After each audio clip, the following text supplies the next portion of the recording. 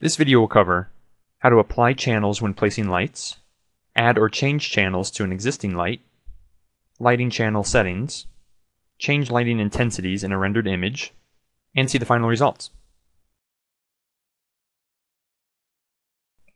Hey, I'm Dennis, and I'm going to show you how to use lighting channels today. This is one of my favorite features of iRender nXt, and I'm really excited to show it to you guys.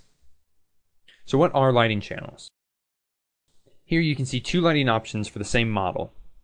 One primarily lit by the sun and sky through this window, and the other lit by the ceiling lights and spotlight. Using iRender nXt's lighting channels, I was able to create both of these images very quickly by simply adjusting these slider bars here. There is no need to re-render this model to get what you see here. Now let me show you how I did it. So to start, of course, you're going to need a model with some lights in it. You can either use one of your own or download this one from our 3D Warehouse account. Just search for Render Plus Systems.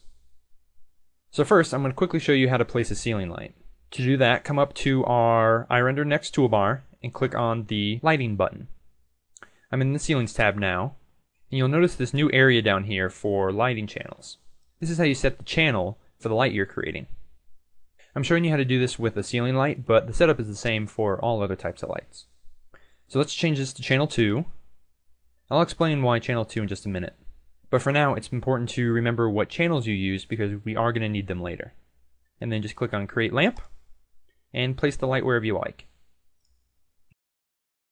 Okay, now let's say that you've already placed a light, such as a spotlight, like I've done here.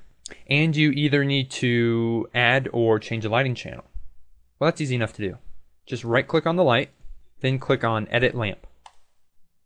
Then this box will pop up, and this is where you can edit many of the settings for the light, including its light channel here. With light channels, you can either give a group of lights a channel, like we did with the ceiling lights, or just an individual light, like we're doing to the spotlight. That's great because you can control either a bunch of lights at once, or just individually. So let's make this channel 3, and click OK. Okay, great. Now we're ready to render this model. Just come up to the toolbar again and click on the green button. Then on Load Options. Then the Lights tab. Now there's this whole new area down here for lighting channels. And the first thing it's asking is how many channels we're going to be using. And the answer is 4. Why 4 when you only saw me assign two channels? One for the ceiling lights and one for the spotlight? Well, the other two are for the sun and sky. And this next area down here is for the default channel settings. If we don't bother to add or change channels to the lights we create, these default channels will be assumed. And you'll see that the defaults only apply to these five lighting types. Now remember how I changed my ceiling light to channel 2? Well that's because channels 0 and 1 are for the sun and the sky. And I just like to leave them alone because it's easier for me to remember them that way. Now don't worry about how this says the ceiling lights are channel 3. Earlier we changed that to channel 2 and so these defaults here would be overridden by that earlier change. So altogether, we're going to be using four light channels. One for the sky, one for the sun, one for the group of ceiling lights, and one for the spotlight. Now, of course, before you render, you'll want to make sure that you have edited all the materials and changed any settings you need to in order to get the best results. If you don't know how to do this, make sure to check out our website for more video tutorials, as well as documentation.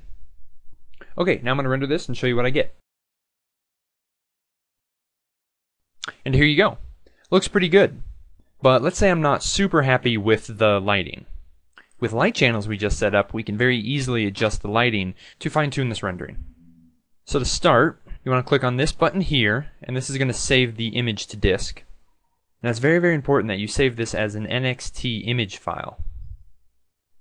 And then click on Save. Then click on Open File. Now remember before, we told it that we were only going to use four channels.